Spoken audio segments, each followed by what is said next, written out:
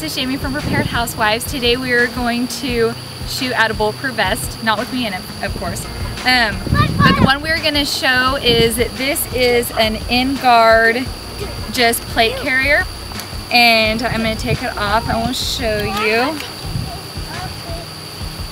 What you can do is it holds a plate in it. So here's the actual plate. And this is a EnGarde tactical plate level four. So we are going to shoot at this and test it out and see how it works. First I'm going to use my SIG 238 and we'll see if it goes through.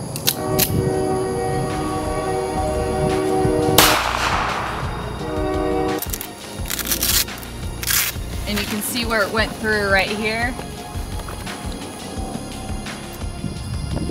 All right, the second handgun we'll be trying is the Smith & Wesson M&P Shield with the 9mm. So I shot right over here. Can you see that?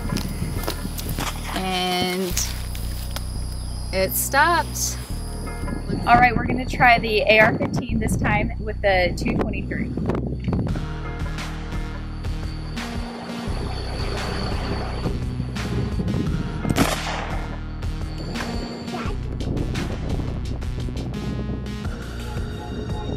All right, this is the last gun we're gonna try, and this is the 270.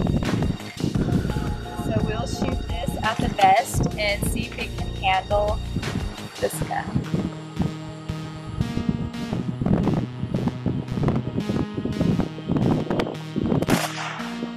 That wasn't loud. All right, here's the EnGarde tactical vest after I shot at it. My first shot, I shot the 380 and it went right through there. Um, my second shot, I did the 9 millimeter and that's the one right there. Then I did the 223 and it did right there and then the 270 really kind of blew it out right about there. And here you can see nothing went through the back. So I'm going to take the plate out of the um, carrier.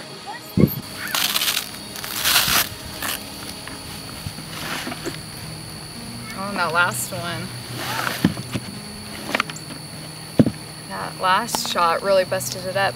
Um, so here you can see all my shots. Here's the first one I did with the 380 and then the 9 millimeter is right down there and then the 223 blew it out a little bit more and then the 270 really really put a dent in it but they all survived in the back. You can see nothing went through, but it did really hit hard right here.